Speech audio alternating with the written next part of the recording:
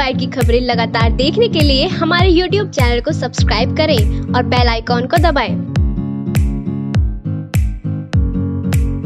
इस खबर के प्रायोजक है जैना ज्वेलर्स आबुलेन मेरठ एमएलसी स्थानीय निकाय के प्रत्याशियों के नाम भाजपा ने घोषित किए तो यह तो साफ़ संदेश चला गया कि अब योगी सरकार में ब्राह्मणों को भी उचित प्रतिनिधित्व मिलने जा रहा है मेरठ गाजियाबाद सीट से भाजपा ने शिक्षाविद धर्मेंद्र भारद्वाज को मैदान में उतारते हुए यह साफ़ संकेत दे भी दिए।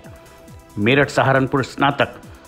विधान परिषद के चुनाव में बाईस हज़ार से ज़्यादा वोट बतौर निर्दलीय उम्मीदवार प्राप्त कर धर्मेंद्र भारद्वाज ने ब्राह्मणों की राजनीति में अपना दबदबा साबित कर दिया था। 2014 में हुए इस चुनाव में वह मात्र 800 वोटों से इस क्षेत्र के दिग्गज नेता हेम सिंह पुंडीर से हार गए थे। ब्राह्मण राजनीति को नया मोड़ देते हुए जैसे ही धर्मेंद्र भारद्वाज के नाम की घोषणा हुई तो भाजपाइयों के चेहरे खिल उठे।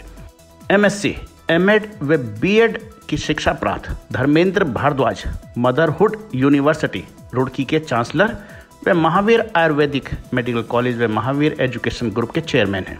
मैं हूँ रवि शर्मा और आप देख रहे हैं फ़र्स्ट बाइट डॉट टीवी दरअसल, शिक्षाविद होते हुए धर्मेंद्र भारद्वाज विभिन्न सामाजिक कार्यों में बराबर जुड़े रहे हैं।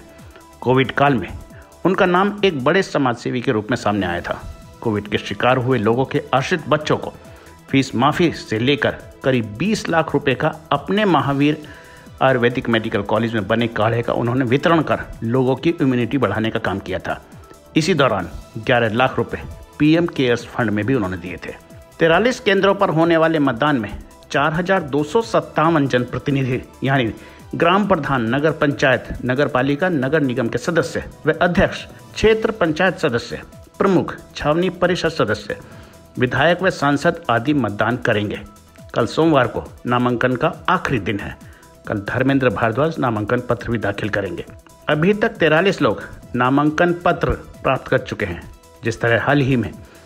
व पंचायत चुनाव में भाजपा ने जिस तरह का प्रदर्शन किया है, उसे देखते हुए धर्मेंद्र भारद्वाज की जीत भी तय मानी जा रही है। इस खबर में फ़िलहाल इतना ही। आप देखते रहिए फ़र्स्ट बाइट डॉट टीवी नमस्कार।